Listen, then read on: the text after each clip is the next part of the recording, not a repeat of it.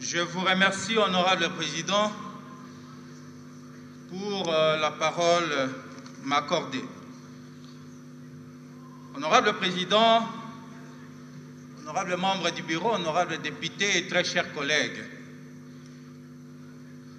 je viens par la présente motion d'information attirer l'attention du gouvernement, honorable président, sur l'état de délabrement très avancé des routes dans la province du Sankourou en général, et plus particulièrement, honorable président, la route qui relie Benadibele à Lodja. Honorable Président, c'est une route d'une importance capitale dans la mesure où elle permet l'approvisionnement de Lodja, de Katako, de Lubefu et tant d'autres territoires via le port de Benadibele. Dans un passé récent, honorable Président, les conducteurs des véhicules de gros tonnage faisaient un aller-retour entre Lodja, Benadibele, Lodja. Au jour d'aujourd'hui, il faut plus ou moins trois semaines, honorable président, pour un tronçon routier de 150 km.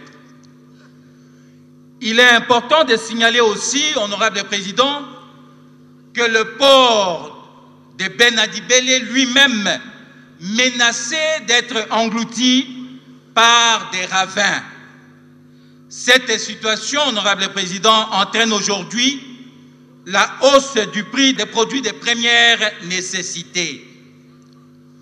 Honorable président, honorable député, je ne serais pas complet si je n'informais pas par la même occasion l'Auguste Assemblée plénière que la route nationale qui relie Lusambo, chef-lieu de la province du Sankourou, au territoire de Lubefu, elle aussi est coupée par le ravin juste à l'entrée de la ville de Lusambu, soit à 30 km de la ville de Lusambu, au village Chikakoko.